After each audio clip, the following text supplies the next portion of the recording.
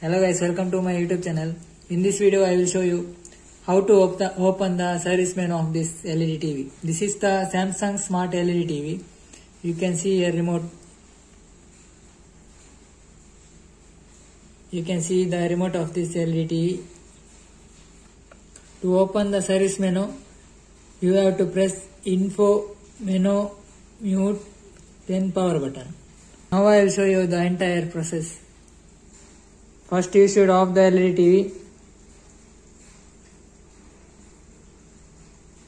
Then you have to press info menu mute power button.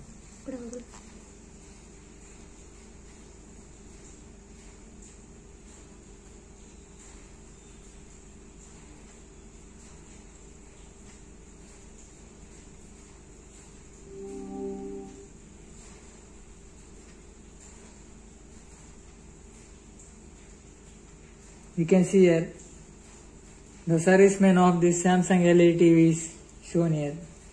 In this option you can uh, factory reset and uh, any other settings you can do. Factory reset and uh, you can mirror the display etc etc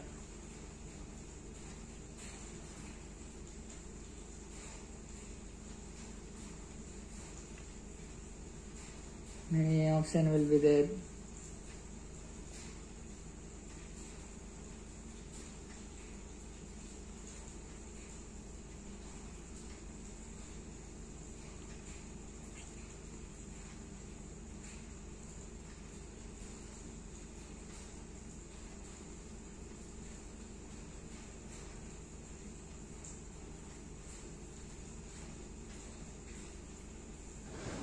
Friends, if you like this video, please like, share and subscribe our YouTube channel.